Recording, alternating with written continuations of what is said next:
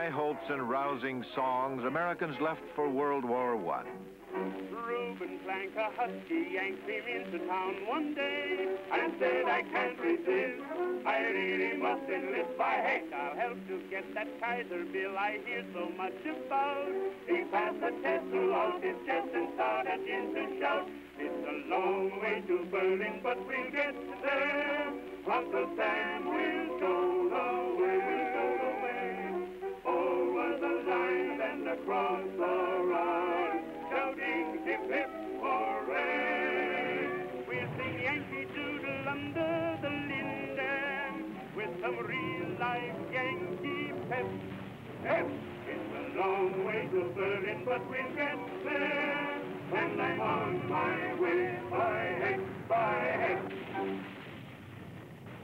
They found trenches, mud, and death. The very savagery of the war made the cry for peace more ardent.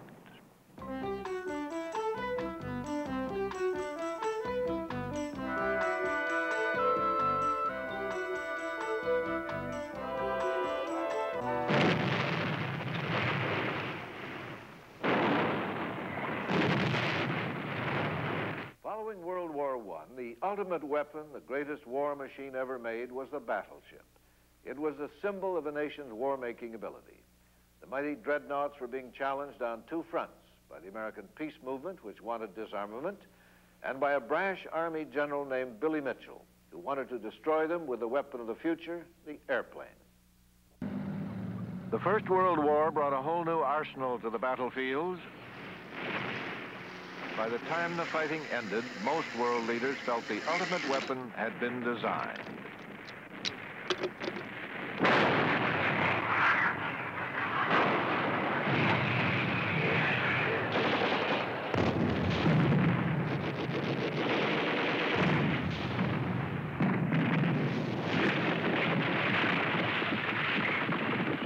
Initial challenge of the 1920s to American foreign policy was to harness the awesome technological developments of World War I and curb the rising influence of Japan, which had emerged from the war as a major military power. An intense naval arms race followed World War I between Great Britain, the United States, and Japan.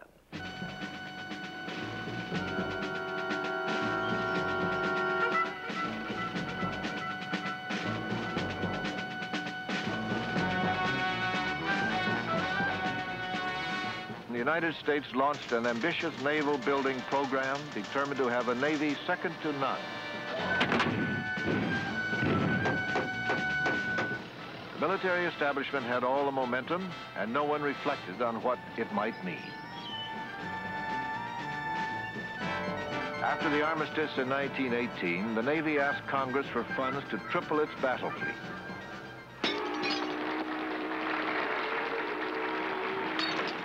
There was talk of war in the Pacific with Japan. In a special report, the Navy argued that Japan aimed at commercial and political domination of the Far East. The report said the Japanese were aggressive and militaristic. President Harding's foreign policy of America first required naval supremacy. After the war, the Navy ordered its battle fleet to the Pacific. Japan countered the move and escalated its own naval building program. President Harding's policy seemed a direct threat to the Japanese. Professor Edwin Reischauer of Harvard. At this time, the great problem was that the United States was changing its whole concept of the world and was becoming to be the champion, you know, of self-determination and no more imperialism in one world, and finally gets all into the Versailles Treaty and the League of Nations concepts and so on. And this went very much against the way the Japanese had gradually been getting their place in the world. They'd started late, just beginning to build an empire, a small island nation with a huge population, therefore very much dependent as they industrialized on a flow of raw materials into Japan, and of course exports from Japan, and yet only a little imperial base for it.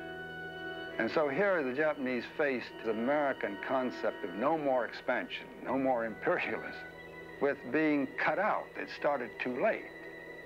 Others had gotten their great empires in the 19th century. Japan was still to get hers. And a great debate developed in Japan as to whether they were being hoodwinked by the West. The West was satiated already it didn't want any more, and therefore it could have the new rules, but Japan was far from satiated and shouldn't therefore accept the rules of the West. So Japan viewed the American Navy as her principal threat.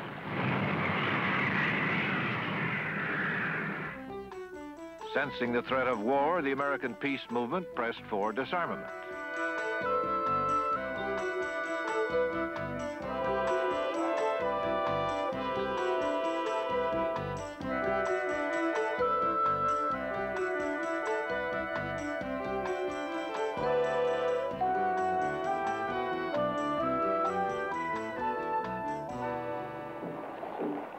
Armistice Day, November 11, 1921, America buried her unknown soldier from World War I. President Harding compassionately called for an end to war. There grows on me the realization of the unusual character of this occasion. Our republic has been at war before. It has asked and received the supreme sacrifices of its sons and daughters, and faith in America has been justified. But we never before sent so many to battle under the flag in a foreign land. Never before was there the impressive spectacle of thousands of dead returned to find eternal resting place in the beloved homeland. These dead know nothing of our ceremonies today. Every funeral, every memorial, every tribute is for the living, an offering in compensation of sorrow. One's words fail. His understanding of his emotions is stirred beyond control when contemplating these thousands of beloved dead. It must not be again. It must not be again. The great debate of the 1920s was between disarmament and collective security. Since America had rejected the League of Nations, collective security was now a dead issue.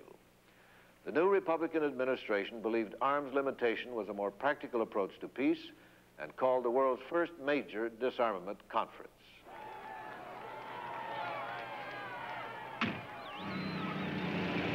Three years after the armistice, the Washington Naval Disarmament Conference convened. Some old allies from World War I were there, France, England, and this time Japan. Secretary of State Charles Evans Hughes headed the American delegation. Hughes was a shrewd diplomat who would dominate the conference. Senator William Borah originated the idea of a disarmament conference. Borah was not a delegate, but Henry Cabot Lodge of the Foreign Relations Committee was. Hughes was a practical man who believed in the art of achieving the possible. That meant dealing with the U.S. Senate. His credo was Life is work, and then more work, and then more work. The Japanese delegation was headed by Admiral Baron Kato, a traditionalist who had to keep the young officers in line. During World War I, the Japanese seized everything that was German in that part of the world. That was one of the reasons they went into the war. And they took over the German position in Shandong, which was a very rich and important position in China. They took over the islands of the northern Pacific and the European powers had agreed that they would get this after the war. Japan, however, could not afford more naval expansion. Already one-third of the national budget was going to the Navy.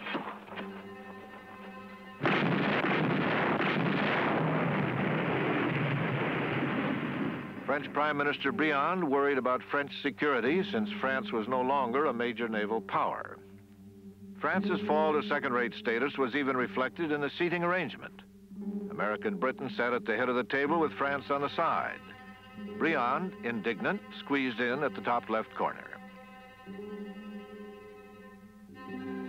Lord Arthur Balfour, head of the British delegation, saw the American Navy as a threat. Initially, Britain saw the American Navy as a considerable threat. But in time, they came to conceive of the American Navy as a potential ally that could police the situation in the Pacific so that the British could concentrate their naval power on the Atlantic and the Mediterranean and in the Indian Ocean.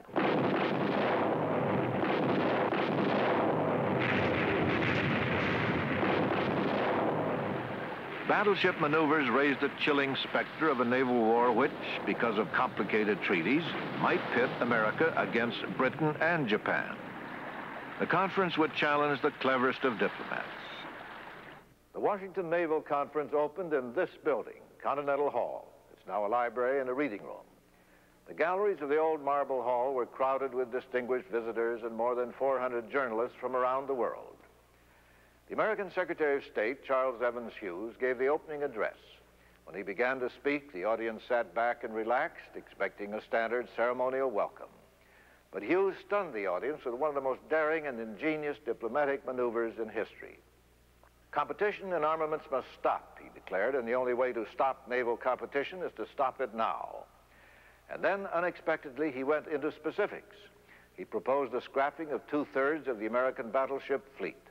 He rattled off the names of the ships to be destroyed. In all, 30 capital ships would be scrapped, 15 old battleships and 15 under construction. But that wasn't all. He next proposed that Great Britain and Japan take similar action and went on to name British and Japanese ships to be destroyed. Once these ships were scrapped, there would be a naval building holiday for 10 years. The delegates were taken completely by surprise. An observer remarked, with one speech, Hughes sank more battleships than all the admirals in history. Hughes emerged in total control of the conference. The unflappable British were speechless. Lord Balfour could not allow 200 years of naval supremacy to go down the drain. The proud French had been reduced to a third-class naval power. Baron Kato of Japan wondered what motives lay behind the American proposal. As the delegates tried to calculate the damage, they issued vague, non-committal statements. France carefully objected to limits on submarines and the 10-year naval holiday. Lord Balfour said the British agree with the proposal in spirit and principle. The Japanese also agreed in principle, but said they would add a few modifications. At the State Department, Hughes held secret meetings to iron out the problems. His goal was to finesse Japan out of its alliance with Britain. Hughes managed to break the old treaty. He also forced the Japanese to agree that for every five British and five American capital ships, the Japanese should have only three. In exchange, Hughes agreed not to fortify American bases in the Pacific. The Japanese did buy the concept that they, as a one ocean navy, were reasonably limited to a ratio of 3 to R5 and the British 5 because we and the British were international two-ocean navies and so on. And they did get the concession that we would not fortify ourselves between uh, west of Pearl Harbor on the part of the Americans or east of Singapore on the part of the British, which gave the Japanese naval domination of a very big segment of the world. Japan agreed to respect the territorial integrity of China and to submit disputes in the Far East to arbitration. While moderate Japanese leaders were pleased, young militarists in Japan felt betrayed. Although journalists hailed the treaty as a miracle, not everyone was happy. In Britain, one critic called it the bloodless surrender of the world's greatest empire.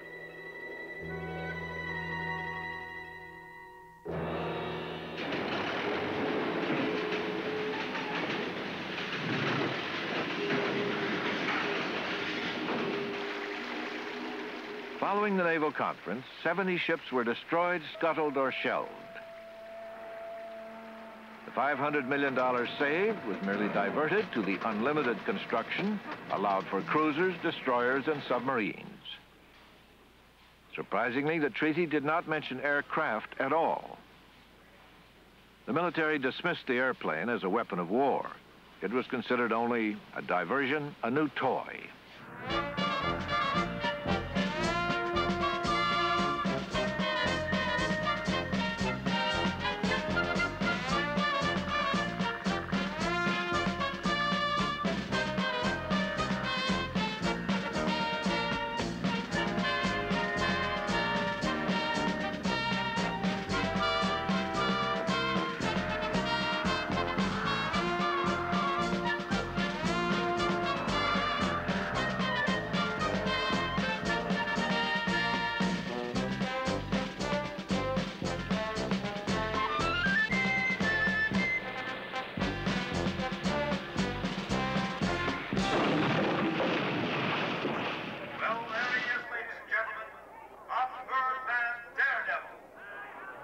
An outspoken World War I flyer, however, General Billy Mitchell, had become obsessed with the military potential of air power.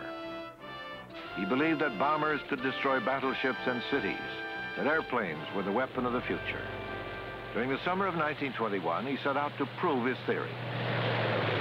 The Navy had fought Mitchell and opposed the tests. Newly elected President Harding, however, decided to give him a chance.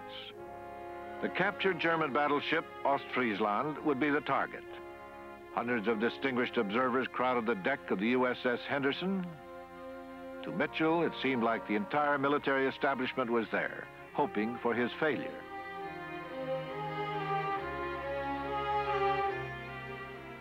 Critics called Mitchell's mission an impossible, foolish gesture. Mitchell knew that if he failed to sink the Ostfriesland, his cause was lost. Mitchell said grimly, we had to kill, lay out, and bury this great ship. He had developed a new weapon to meet the challenge, a monstrous 2,000-pound bomb, the first of its kind ever made. In spite of his awesome weapon, the Navy gave him only a thousand to one chance of sinking the ship. On July 21st, Mitchell and his pilots took off to destroy the supposedly invincible battleship Ostfriesland. As he approached the majestic ship, Mitchell said, she looked like a grim old bulldog with the scars of Jutland still on her.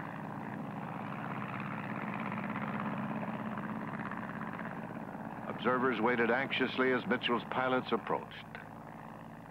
Special guests that day included General Badoglio of Italy, who would later develop the Italian Air Force, and two observers from Japan named Kasuda and Shibuta. They kept four cameras busy during the bombings.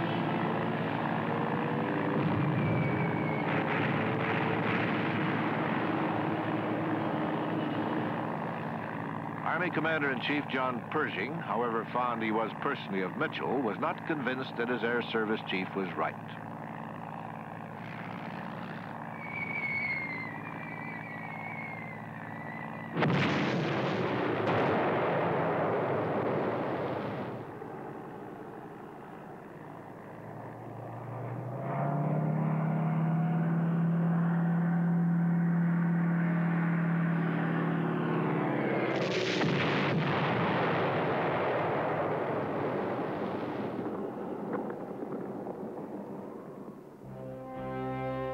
After the first round of bombing, damage assessment parties surveyed the Ostfriesland. Though badly wounded, the Navy crowed, she was still afloat.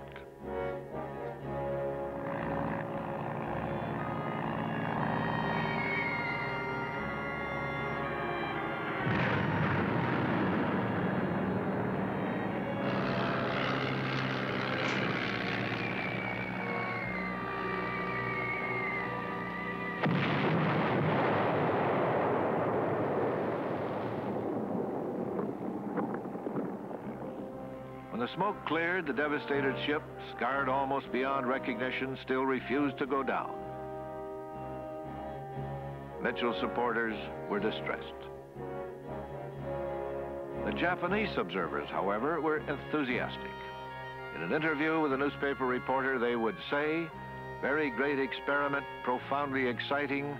Our people will cheer your great Mitchell, and you may be sure we'll study his experiments. There is much here to learn.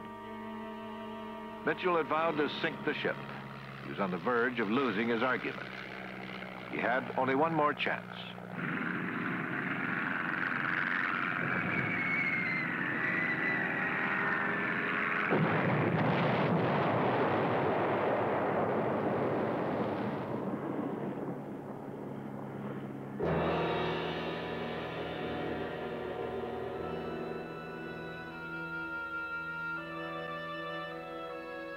Great irony of the demonstrations by Billy Mitchell is that the observers present, especially the Japanese observers, learned the lesson much more quickly than the Americans.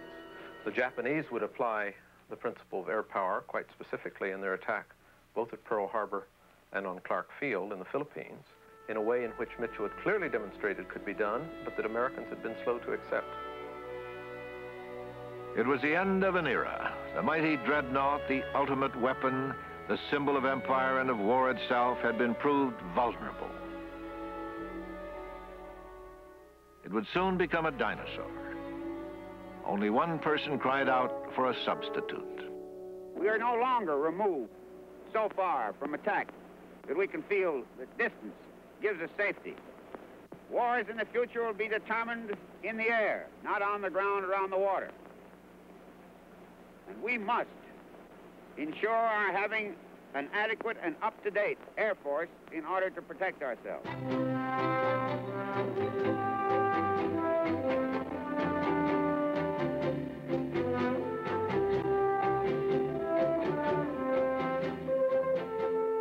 The substitutes for the battleship were pitiful at first. They were flimsy, awkward, unwieldy.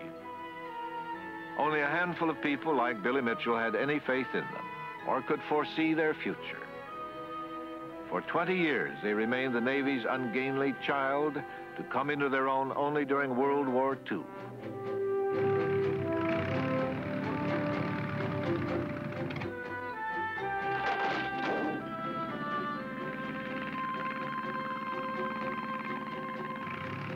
The Washington Naval Conference, in a sense, paved the way for the aircraft carrier.